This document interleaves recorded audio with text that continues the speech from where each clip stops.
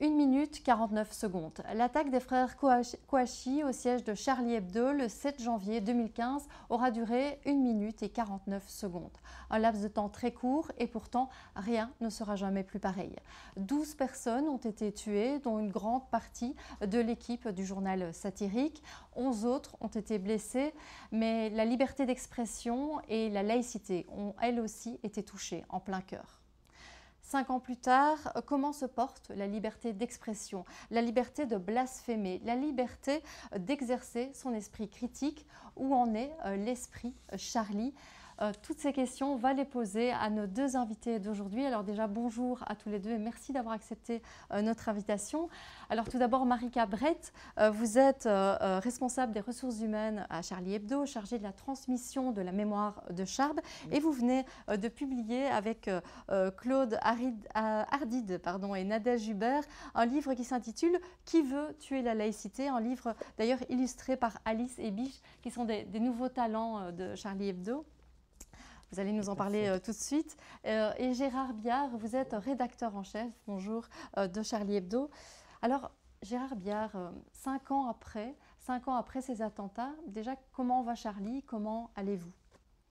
Bah, Écoutez, on, on, a, on continue le journal, on va de l'avant, on regarde plutôt vers l'avenir. on a aujourd'hui, comme vous l'avez dit, des nouveaux talents.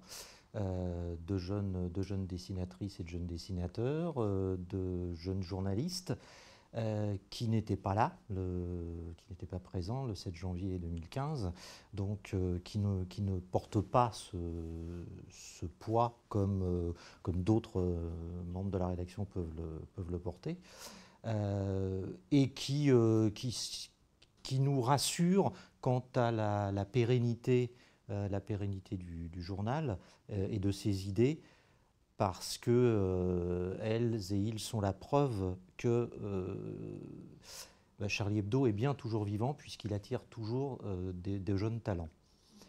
Donc on va plutôt, voilà, on va plutôt, on va plutôt bien. En tout cas, on va mieux qu'il y a cinq ans.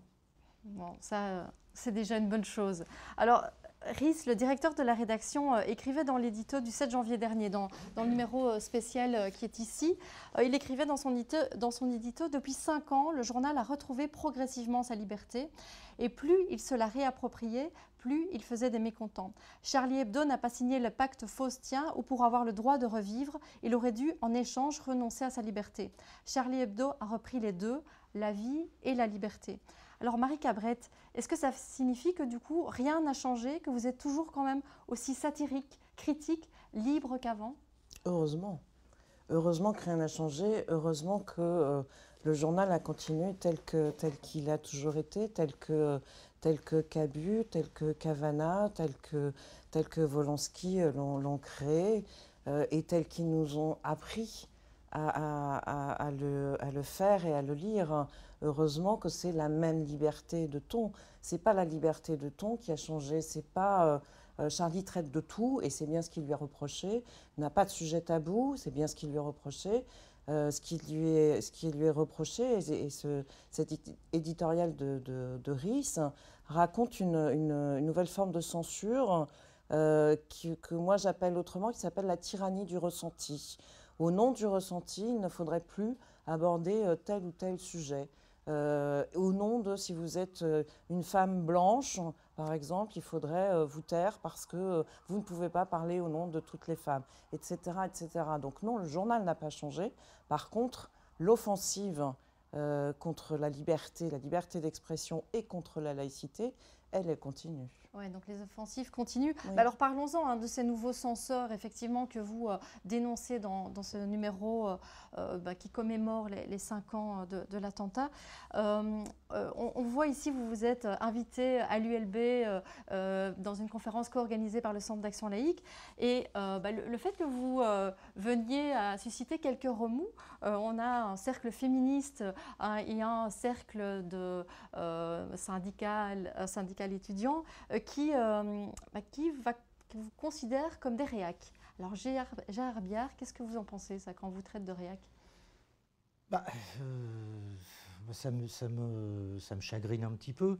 le problème, c'est qu'on se retrouve aujourd'hui face, face effectivement à une nouvelle forme de censure qui n'est plus, qui n'est plus institutionnelle, alors que historiquement la censure est exercée par des institutions, qu'elles soient civiles, religieuses, policières, euh, là, là c'est des individus ou des groupes d'individus euh, qui, au nom de valeurs euh, qui sont parfaitement défendables et qu'on partage, prétendent, prétendent faire taire et empêcher la parole, empêcher le débat.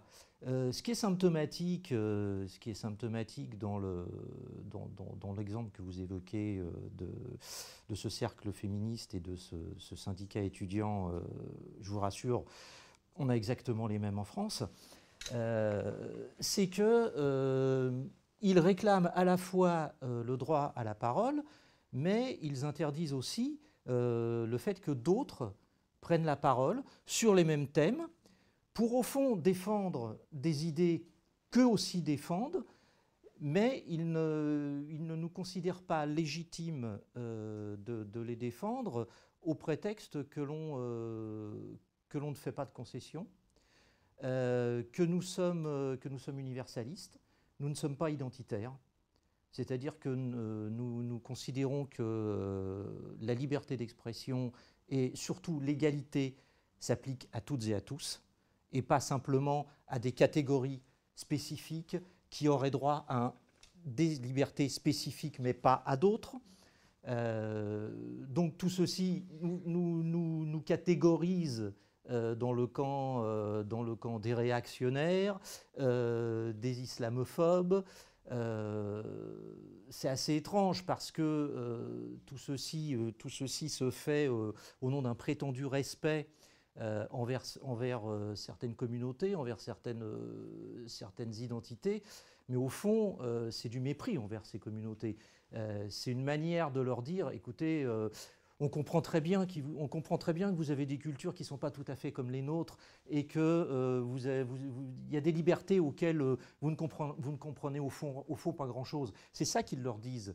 Euh, or, nous, nous, or, nous, nous les considérons comme euh, on doit considérer tous les citoyennes et tous les citoyens euh, dans une démocratie, c'est-à-dire comme des adultes éduqués, capables, capables de comprendre l'humour, capables de supporter la contradiction, capables de tenir un débat, capables de répondre éventuellement euh, à ce qu'ils considèrent comme une injure. Euh, donc voilà, voilà à quoi, euh, aujourd'hui nous sommes confrontés. Ce qui est, d'autant plus embêtant, c'est que ces, personnes se classent dans le camp de la gauche, qui est notre camp. J'ai envie du coup de rebondir sur, ce que vous disiez, parce que dans le, euh, livre posthume de Charb, euh, donc euh, le livre Lettres aux escrocs de l'islamophobie qui font le jeu des racistes, Charb écrivait Dire que l'islam n'est pas compatible avec l'humour est aussi absurde que prétendre que l'islam n'est pas compatible avec la démocratie ou avec la laïcité. C'est-à-dire que ben, voilà, quand on considère qu'on ne peut pas vous écouter, qu'on ne peut pas faire des unes ou on ne peut pas faire de l'humour sur l'islam, par exemple, c'est finalement offenser les, les musulmans en estimant que ils n'ont pas d'humour euh, Charles considérait euh, le lectorat de Charlie et puis les, gens en général d'abord par euh, ce qui nous réunit tous, c'est-à-dire la citoyenneté, ce que, ce que dit Gérard. Notre point commun à tous, c'est la citoyenneté, sans aucun doute. Donc il considérait effectivement que c'était complètement stupide, et c'est toujours stupide d'expliquer qu'un musulman, parce qu'il est musulman, est incapable de rire, un musulman, parce qu'il est musulman, n'est pas capable de mettre de savoir où il met sa foi et euh, où il met euh, sa, vie, euh, sa vie de tous les jours, sa vie citoyenne. et il considérait par ailleurs, et, c'est toujours d'actualité, bien sûr qu'il y a des discriminations, bien sûr qu'il y a un racisme, il y a un racisme anti-musulman, oui, ça existe, mais il n'y a aucune discrimination qui n'est plus supportable qu'une autre aucune, et que c'est n'avoir jamais lu Charlie Hebdo, mais vraiment jamais, jamais, jamais, pour affirmer le contraire. Charlie se bat contre toutes les discriminations, contre toutes les injustices, contre toutes les inégalités, sans distinction. Et c'est bien ça aussi qui, nous est reproché, qui fait la différence entre euh, ce qu'on appelle l'universalisme et euh, ce qu'on peut appeler par exemple le féminisme intersectionnel. C'est ce qu'on va appeler la ligne laïque de ah, Charlie, qui est suivie d'ailleurs depuis 50 ans. Hein. On, fait les 50 ans cette année. Euh, c'est vrai que euh, donc ce livre posthume dont je parlais de, de Charb, il a été euh, adapté en pièce de théâtre. Et cette pièce de théâtre, elle est enfin, il y a des représentations qui se font dans les écoles. Marie Cabrette, vous allez régulièrement dans les écoles accompagner et discuter avec les élèves après avoir vu la pièce, après qu'ils aient vu la pièce. comment le texte est-il accueilli? Le, débat dans les écoles sont toujours passionnants parce qu'en fait, ils ont. Euh, d'abord parce que, parce que les élèves découvrent ce que c'est que la laïcité. On ne leur, a pas, expliqué avant ce que c'était que la laïcité. On ne leur a pas beaucoup parlé de liberté d'expression à ces jeunes gens. Et ils ont pris 2015 euh, de plein fouet, euh, le 7, le 8, le 9 janvier, et puis ensuite le 13 novembre. Ne pas oublier le 13 novembre, qui sont des endroits qu'ils fréquentent. des terrasses de café, un stade de foot, une salle de concert. Donc en fait, quand on en parle avec eux, euh, c'est parfois vif, oui, c'est vrai que c'est parfois vif, mais il y a débat. Le débat est possible. Et autour de cette pièce, en fait, ce ne sont pas les élèves euh, qui, euh, qui, posent problème ou qui nous ont posé problème dans la moindre discussion que j'ai pu avoir avec eux. C'est des réactions d'élus, par exemple, qui n'ont pas voulu que la pièce soit programmée dans leur ville parce qu'il faut, par crainte de débordement, fallait, fallait surtout pas aborder le sujet, que la version de Charme, un élu à côté de Bordeaux, les mots de charme ne vont pas dans le sens d'une transmission apaisée de la laïcité. Mais qu'est-ce que ça veut dire euh, de parler de charme comme ça?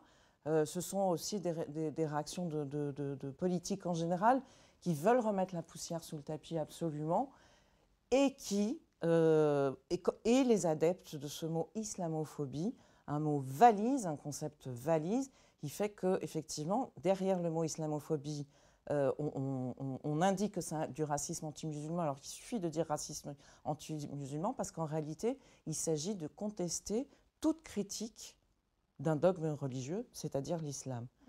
C'est ça la réalité. Et les élèves, pour moi, euh, les élèves que j'ai rencontrés, même si par moments il y a eu des questions vives, des débats vifs, comprennent mais ça, mais parfaitement donc ça veut dire que c'est une manière aussi de, peut-être euh, euh, jeter des ponts, de faire euh, ce travail d'éducation, c'est aussi de faire un, pas vers ceux qui, bah, qui vous critiquez, ceux qui ont du mal parfois à comprendre vos unes. Bah, c'est indispensable parce qu'il y, a une énorme confusion aujourd'hui. D'abord, il y a une confusion qui est, qui est pratiquement unanime autour de, autour, de la question de la, laïcité, ce que c'est que la laïcité? Euh, il faut bien faire la différence, à mon sens, entre, la foi et la religion. Euh, la foi, euh, c'est ce que chacun ressent, c'est l'intime, et ça ne regarde personne. La religion, c'est l'organisation politique et, sociale de la foi. Et donc c'est politique. Donc c'est parfaitement critiquable, c'est parfaitement attaquable. Euh, et ça doit l'être dans le cadre d'une démocratie. Sinon, sinon on n'est plus dans une démocratie. C'est la première phrase de la loi, c'est l'État ne reconnaît aucune religion. Il ne dit pas qu'il les reconnaît toutes, il ne reconnaît aucune. Donc, ce n'est pas la question. Et le deuxième, point, c'est que c'est une loi d'ordre public. C'est-à-dire, la religion, c'est un problème d'ordre public. Donc, c'est un, problème politique. Voilà. Une fois qu'on a compris ça, on peut parler. On peut discuter. Mais justement, ça, on voit que tout le monde ne le comprend pas bien. Et d'ailleurs, dans votre livre, c'est intéressant qui veut tuer la laïcité? On va revenir hein, sur qui, finalement. Mais avant ça, euh, il y a toute une première partie dans le livre qui, qui retrace un peu les bases, euh, l'histoire, finalement, de la laïcité, parce que les gens ne connaissent pas assez la laïcité. On a l'impression qu'ils ne savent pas ce que c'est, finalement. Ils ne savent pas ce que c'est. Et j'ai voulu euh, déjà rappeler à quoi ça avait mis fin, la laïcité. ça a quand même mis fin à plus de 35 ans de guerre civile une boucherie entre, entre catholiques et protestants. Donc on peut, on peut rentrer euh, dans les détails de, ces 35 années, mais n'empêche que ça a mis fin à ça très précisément et que les concepteurs de, de, la loi ont été euh, extrêmement, euh, extrêmement intelligents dans le sens où ils, n'ont pas fait une loi anticléricale primaire, si j'ose dire. quand Gérard dit euh, effectivement, la laïcité, ce que permet l'État ne reconnaît ni ne, subventionne aucun culte, n'en exclut aucun non plus. Euh, c'est très clair, c'est vraiment très très clair. Donc c'était de rappeler cette base-là. Et cette base-là, pourquoi la rappeler? C'est parce que c'est aussi un état d'esprit. Euh, c'était de rappeler que la laïcité, c'est une liberté, et c'est l'état de l'esprit de l'émancipation justement. C'est cette une liberté de conscience. C'est une liberté de conscience et non pas une liberté religieuse, parce que ça on l'entend trop souvent, c'est la liberté de conscience. La liberté de conscience inclut la liberté religieuse, il n'y a aucun problème là-dessus, mais l'inverse n'est pas vrai. La liberté religieuse n'inclut pas la liberté de conscience. Donc c'était ça pour moi qui était important de rappeler dans cette première partie, c'est-à-dire la loi, le texte, son histoire, et une histoire qui arrive à cet état d'esprit d'émancipation, et cet état d'émancipation qui fait précisément peur au pire projet politique totalitaire. Mmh. Alors, vous, retracez aussi toute une série de, coups de couteau, j'ai envie de dire, qui ont été adressés à la laïcité depuis déjà quoi, plus de 30 ans. Mmh. Et quand on voit tous ces exemples, on se dit que bah, finalement, ce qui s'est passé euh, à Charlie, euh, euh, bah, l'incendie en 2011, le procès en 2007, c'était déjà, enfin, c'est des exemples qui pourraient être repris dans le livre, qui sont vraiment des coups de couteau donnés à la laïcité à cette époque-là. Oui, bien sûr. C'est l'histoire, l'histoire de, des caricatures de Mahomet, euh, elle est symptomatique. Euh, pourquoi, Charlie publie les, caricatures de Mahomet? Au fond, pour une raison très simple que tout, le monde a oublié et surtout que les journalistes ne veulent, ne veulent jamais rappeler, ce qui est quand même un tout petit peu paradoxal, parce que ça concerne essentiellement la liberté, de la presse. On a publié les caricatures parce que euh, François les avait publiées pour soutenir le journal euh, danois Posten. Et le lendemain de la publication des caricatures dans François, son rédacteur en chef était viré par sa direction pour les avoir publiées. Donc on les a publiées avec un appareil critique, parce qu'on ne fait jamais rien Contrairement à tout ce, qui, est dit, on ne fait jamais rien gratuitement. D'abord parce que le journal coûte 3 euros, mais euh, ensuite parce qu'on étaye en règle générale euh, tous nos propos. Euh, on les a publiés d'abord pour ça. Et on a demandé à tous les titres de presse de les publier également conjointement à nous. Il n'y en a que deux qui l'ont fait. L'Express a, publié les 12 caricatures et Libé certaines. Donc il y a eu une débandade générale euh, là-dessus, sur la défense de la liberté d'expression, bien sûr, de la liberté de conscience, du droit au blasphème, mais de la liberté de la presse. C'est ça que vous défendiez aussi, c'était la liberté de la presse. mais bien sûr. La liberté de blasphémer. Bien sûr c'est quelque chose que l'on défend évidemment, toujours, et pied à pied, et de plus en plus, parce qu'on y est de plus en plus euh, contraint. On est de plus en plus euh, contraint de rappeler que euh, le délit de blasphème n'existe pas en France. Il a été supprimé à la Révolution française. Et à la Révolution française, on a bien fait davantage que de blasphémer. on a coupé la tête au roi, qui était le représentant de Dieu sur terre. Donc on a coupé la tête à Dieu. Euh, donc c'est un petit peu, c'est très, très extrême comme blasphème. Euh, donc on est toujours obligé de, défendre, de défendre ce droit, de défendre ce, ce, fondement, au fond, là encore, c'est une liberté politique, le blasphème. Parce que quand on blasphème, on ne s'adresse pas, contrairement à ce que disent euh, les gens qui aimeraient, qui aimeraient que, que, ce délit revienne au goût du jour, on n'attaque pas des individus, on n'attaque pas, des, pas des gens, on n'attaque même pas des groupes de personnes, on attaque le pouvoir de Dieu, ces, symboles, on attaque, un, on, attaque, on attaque un pouvoir religieux, ces symboles, le dogme, c'est un combat, c'est une action, le blasphème est une action politique. Est-ce que euh, en France, mais en Belgique aussi, euh, on a trop laissé faire on a trop laissé, euh, justement, on parlait tout à l'heure de, ces coups de couteau euh, à la laïcité, on, a trop, on a trop laissé faire et on laisse peut-être encore trop faire aujourd'hui. Il y, a, une phrase de Charb qu'il a prononcée. il était président du prix jury laïcité et république. C'était juste après l'incendie. C'était donc en 2012 un prix qui, récompense des personnes qui œuvrent en particulier sur la laïcité, donc prix national et prix international. cette année-là, ce prix récompensait deux femmes, Françoise Laborde, une, sénatrice, et Jamila Benhabib, écrivaine, essayiste. Et cette phrase de c'est qu'il a prononcée à ce moment-là, c'est J'ai moins peur des extrémistes religieux que des laïcs qui se taisent.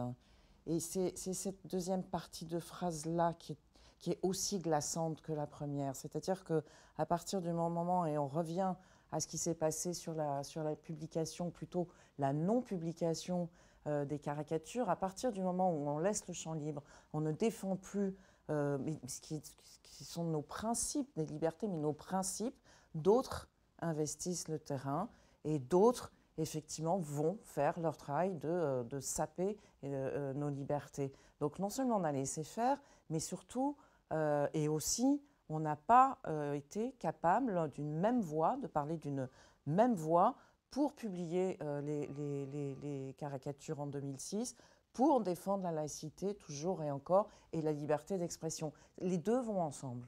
Et la laïcité, on l'a laissé trop aux mains de l'extrême droite? On l'a laissé récupérer l'extrême droite en prétendant que, alors là, maintenant, l'extrême droite, c'est quand même assez formidable. L'extrême droite est laïque, l'extrême droite est féministe.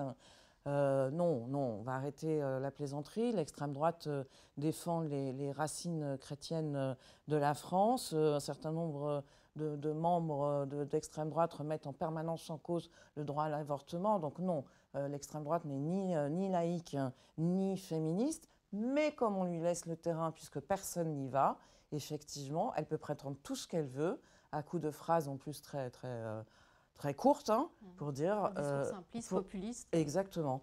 Et ça fonctionne. Mais ça, moi, j'en veux à la gauche, profondément, parce que c'est ma famille politique, la gauche, et c'est ma famille politique parce que, précisément, elle est, elle est, elle est censément protectrice. Protectrice des personnes et protectrice du collectif. Or, elle a failli et elle a laissé le terrain à l'extrême droite. Mhm. Donc oui, j'en veux profondément. D'où ce besoin vraiment d'éducation. De nouveau, on revient à ce qu'on a déjà dit, hein, mais c'est besoin d'éducation sur ce principe de laïcité. C'est vraiment le travail que vous, vous, encouragez, vous vous dites que c'est là-dessus qu'il faut euh, travailler sur l'éducation du principe. Euh, oui, bien sûr, oui. Bah, D'ailleurs, on a, euh, Dès, 2015, en fait, on a, on a monté une, association qui s'appelle euh, DCL, Dessiner, Créer, Liberté, euh, euh, qui, est autour, d'une exposition, d'une exposition construite à partir, enfin c'est pas à partir d'ailleurs, c'est avec des dessins, une sélection de dessins de, de, jeunes enfants, d'adolescents ou de jeunes adultes, euh, qui nous ont été envoyés après le, après le 7 janvier. On a reçu des, des, des, des milliers de dessins de, classes, parfois entières, parfois simplement des enfants qui avaient envie de nous envoyer un dessin. Voilà. Tous ces dessins, évidemment, euh, parlent, parlent, de liberté d'expression, parlent de, parlent, de, parlent de laïcité parfois. Euh, donc, on a, au, lieu, au lieu de faire une, exposition autour des dessins de Charlie, on a fait une exposition autour de ces dessins euh, faits par des enfants et des adolescents. Et, euh, donc, les, bénévoles de, l'association vont, dans les écoles, vont avec d'autres associations, notamment SOS Racisme avec euh, euh, dans, des, mairies quand les municipalités veulent bien les accueillir. Euh, voilà, dans des écoles quand les écoles veulent bien, veulent bien les accueillir, et voilà, font, comme ce qui se fait autour de la, de la pièce de Charbe, un débat, un débat avec, avec, des, avec des jeunes gens. C'est une manière de perpétuer l'esprit Charlie bah, s'assurer qu'il va continuer à se développer dans, sur les prochaines générations C'est déjà une manière d'appréhender le dessin, parce qu'effectivement, ces, ces, jeunes gens euh, déjà apprennent à lire un dessin, tout simplement à décrypter un dessin, à savoir ce qu'il veut dire, à pas euh, Parce que, bon, soyons clairs, les réseaux sociaux, de ce point de vue-là, ne les aident pas. C'est la pensée euh, rapide en deux secondes, en, quelques signes. Donc là, c'est prendre le temps de lire un dessin, de prendre le temps de le comprendre, prendre le temps de le commenter, prendre le temps d'être d'accord ou pas d'accord avec des arguments. Et ça commence comme ça, en fait, le débat. Et ce, débat-là et le fait d'être en capacité de savoir faire ça, c'est exactement ce qui vous sort de l'entre-soi. C'est exactement ce qui vous met euh, en situation d'échange collectif. Donc, euh, donc c'est ça l'émancipation aussi. Donc c'est, oui, c'est extrêmement important qu'il y ait ce travail-là qui soit fait et que euh, ces, futurs, euh, futurs, jeunes gens qui, feront la politique de demain partent avec ces bases-là. C'est vrai que le, dessin de presse, la caricature, quand on sait que le New York Times a arrêté de publier des dessins de presse là, depuis le mois de juillet dernier, on se dit que ben là, il y a alors peut-être que si au niveau de la liberté d'expression, elle est toujours là, en tout cas la, liberté de caricaturer, la liberté de, faire de la satire au niveau des dessins, elle, est un peu, euh, on, y a un peu touché, non? Le problème, enfin, effectivement, la décision du New York Times, elle est symptomatique. Euh, elle, est, elle, a, elle, a, décidé de, supprimer euh, tous les dessins de presse en raison d'une polémique déclenchée par un dessin particulier. Après, on en pense ce qu'on veut de ce dessin. La, question n'est pas là. C'est que euh, donc ce dessin était jugé, euh, était jugé antisémite.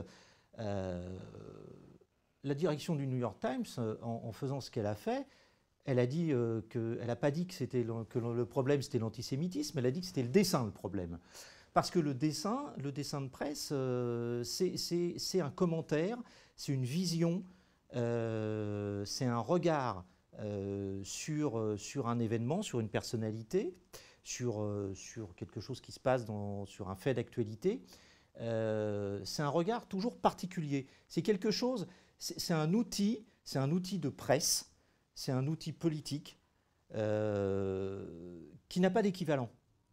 Euh, on dit toujours un, un, petit dessin vaut mieux qu'un grand discours. Euh, c'est pas toujours vrai, euh, euh, parce que tous les dessins ne sont pas bons. mais ce qui est certain, c'est que on ne dit pas la même chose et on ne le dit pas de la même manière avec un dessin et avec l'écrit en tout cas, Charlie, vous avez toujours euh, des dessins et on l'a vu dans les, derniers numéros. Euh, vous continuez, euh, vous continuez le, combat. Un grand merci vraiment à tous les deux. Donc, je rappelle Gérard Biard, vous êtes rédacteur en chef de Charlie, Hebdo. Marika Brett, vous êtes auteur de ce livre Qui veut tuer la laïcité avec Claude Hardid et Nadège Hubert, illustré par Alice et Biche. Et, vous êtes évidemment aussi responsable des ressources humaines à Charlie Hebdo. J'ai juste envie de finir par une phrase de Richard Malka, donc, qui est l'avocat de Charlie. Euh, qui écrit évidemment dans Charlie aussi, et qui, dans ce numéro euh, euh, des, 5 ans, disait Le seul combat que l'on gagne en instaurant la peur de parler, c'est celui de la fin de la démocratie, pas celui d'une minorité quelconque. Merci vraiment à tous les deux. Merci à vous de nous avoir suivis et à très bientôt pour un nouveau rendez-vous de la laïcité.